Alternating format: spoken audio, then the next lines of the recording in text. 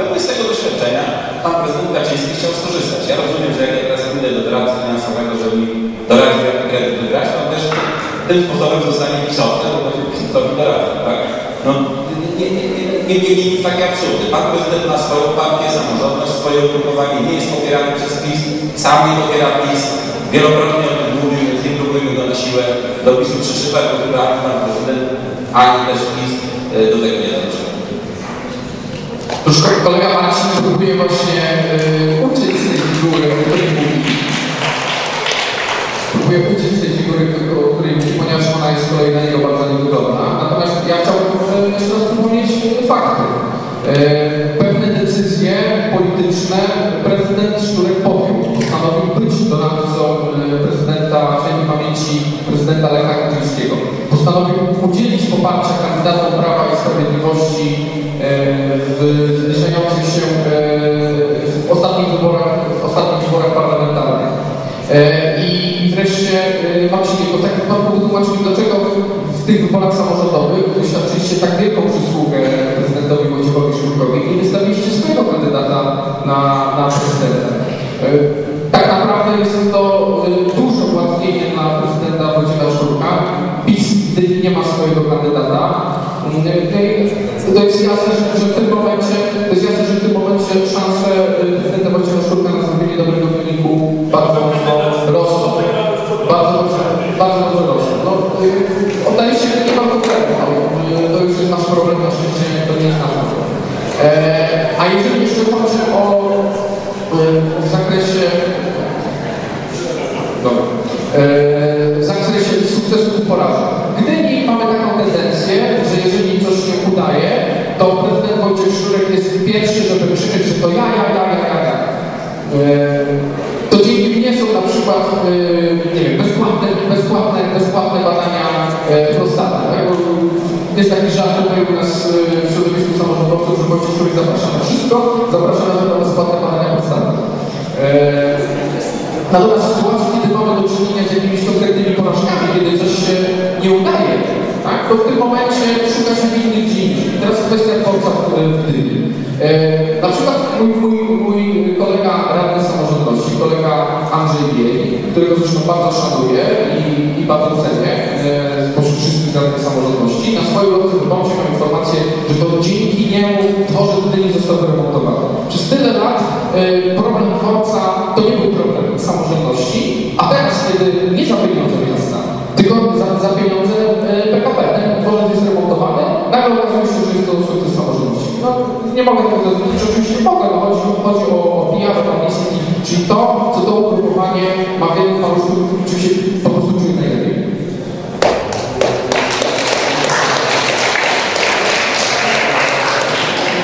No tak, no. Tak przysługę zrobiła prezydentowi Szurkowi, żeby Stawiał swojego kandydata, to prawdopodobnie człowiek się załamał do czwartej tury chyba.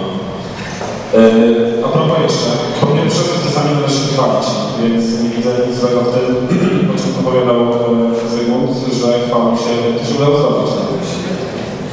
No a, a prezydent człowiek ma własnej kieszeni wykładać na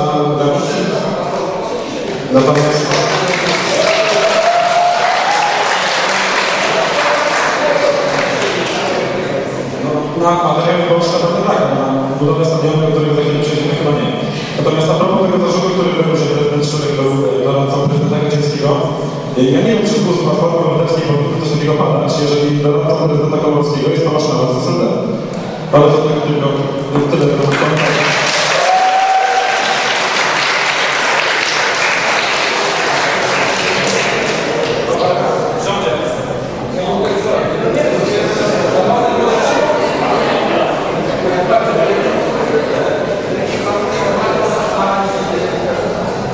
Sukcesy i spadki to teraz coś, co e, jest w miarę kontrowersyjne, mianowicie przedstawiamy.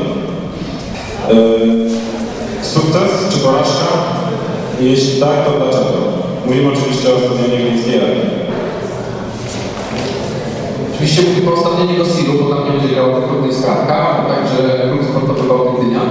E, no cóż, no, stadion jest, jaki jest. E, burzyć go nie będziemy, jak to tylko powiedział przed chwilą pan Superała. E, no, nie jest stadion e, naszych marzeń. Znaczy, e, od początku środowiska kibiców e, w tym momencie, kiedy pojawił się projekt, zgłaszały do niego zastrzeżenia. Mówiono o tym, że trybuna Kryta obejmie całego sektora i w związku z tym część widzów będzie po prostu musiała oglądać widowisko deszczu. Mówiono o tym, że widoczność na stadionie nie jest taka, jaka powinna być. Pojawiły się też takie głosy w mediach, że gdyński stadion to bubel. No zrobiono coś e, tańszego, zrobiono po kosztach. E, ja miałbym e, inne marzenia, inne wyobrażenia. Chciałbym, żebyśmy e, mieli stadion e, na miarę europejskich e, standardów.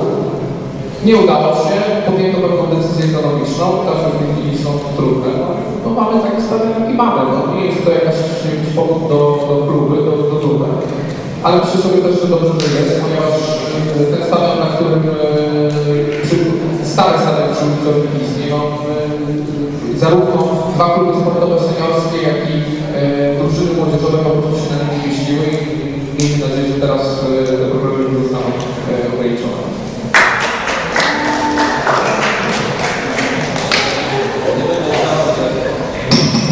Będę udawał, że jestem specjalistą budowy stadionu. Eee, powiem tylko, że no, cieszę się, że wreszcie jest, bo to było takie trochę numerem historii, tam przez 4 lata, że od na to przekładaliśmy, przekładaliśmy, przekładaliśmy. Wreszcie powstaje i ja się cieszę. Natomiast jeżeli chodzi o te zarzuty, jakie się, jakie się pojawiły, tak, nie jestem tu ekspertem, ale to jest kwestia kosztu, tak? To jest kwestia pewnie do zbadania, e, jaki procent miejsc ma ograniczoną widoczność i ile by kosztowało to, żeby tego nie było. Jeżeli jest faktycznie, tak jak mówił Pan Prezydent, że to jest kilkaset miejsc, a koszt poprawienia tego to byłoby kilkadziesiąt milionów, no faktycznie nie warto wydawać na 10 milionów po to, żeby za kilkaset milionów miał na polepszoną widoczność, można by nawet biletów na te miejsca nie sprzedawać i, i też by jakoś poszło do przodu. Gdyby dało się tak zrobić tak, no to oczywiście warto by go poprawić, natomiast tak, głównie, głównie to się cieszę z tego, że wreszcie jest, bo przez wyglądało na to, że, że go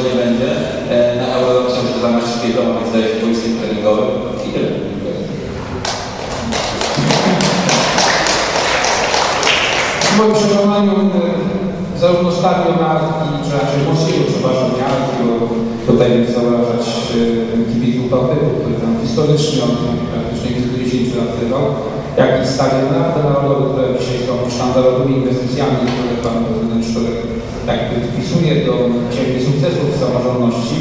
E, Są to wątpliwe sukcesy i należy się zastanowić nad tym, czy rzeczywiście wyłożenie kilku 10 milionów złotych z miejskiej kasy na stworzenie w Miejskim Ośrodku Sportu i Rekreacji miejsca do zarabiania pieniędzy przez prywatną spółkę sportową, bo taką jest sportowa spółka akcyjna AKA, to jest najbardziej potrzebny wydatek. Wolałbym jako kandydat, aby te pieniądze z kasy miejskiej zostały przeznaczone na modernizację na przykład w ciągu jednej kadencji Rady Miasta wszystkich, na przykład boisk nie ma więcej obiektów dostępnych dla młodych ludzi. To dziś tak naprawdę e, jest to chore. Te pieniądze przeznaczyć na dodatkowe wynagrodzenia dla opiekunów, trenerów, aby przyszłodne boiska żyły także popołudniami, trzeba było gdzieś tam dogadywać, że wszystko przedstawiać, to być może miałoby to lepszy pozytywny skutek dla mieszkańców naszego miasta. A skoro jest ten stadion, to trudno. Myślę, że w jakiś sposób przynajmniej będzie korzyść w tym, abyśmy nie dokładali przez kolejne lata z budżetu z naszych wspólnych pieniędzy na utrzymanie tego obiektu, bo dziś Arka jest w Ekstraklasie, a może być tak, a patrząc na ich efekty, że za rok nie będzie w tej Ekstraklasie, to skąd on to Za co będziemy ten obiekt utrzymywać? Bo jak długo gra w Ekstraklasie, będzie Ekstraklasie na pewno pieniądze płacić, ale na rynku wystawu mam nadzieję, że płaci. Ale to tyle.